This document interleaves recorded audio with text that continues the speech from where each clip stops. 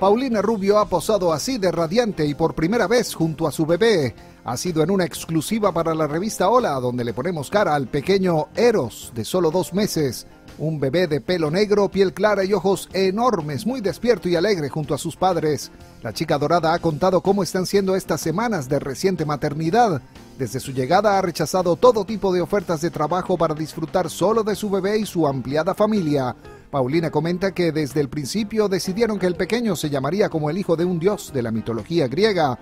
Eros asegura se parece a su padre, Gerardo Basúa, quien se ha involucrado mucho en el cuidado del bebé. En la revista la cantante posa junto a los tres hombres de su vida, Eros, Gerardo y su primer hijo, Andrea Nicolás.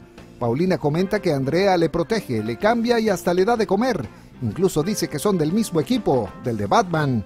Para Andrea es el hermanito más bonito del mundo y para su madre un niño que ha llegado con paz y sabiduría debajo del brazo.